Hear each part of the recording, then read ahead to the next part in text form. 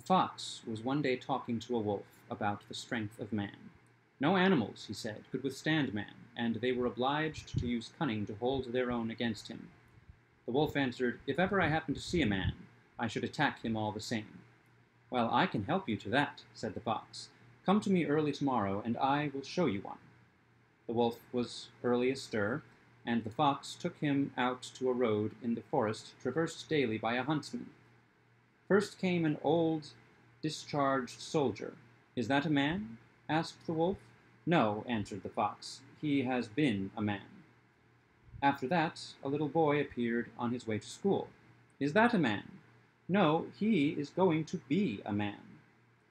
At last the huntsman made his appearance, his gun on his back, and his hunting knife at his side. The fox said to the wolf, Look, there comes a man. You may attack him but I will make off to my hole. The wolf set on the man, who said to himself when he saw him, What a pity my gun isn't loaded with ball, and fired a charge of shot in the wolf's face. The wolf made a wry face, but he was not to be so easily frightened, and attacked him again. Then the huntsman gave him a second charge. The wolf swallowed the pain and rushed at the huntsman, but the man drew his bright hunting knife and hit out right and left with it, so that, streaming with blood, the wolf ran back to the fox.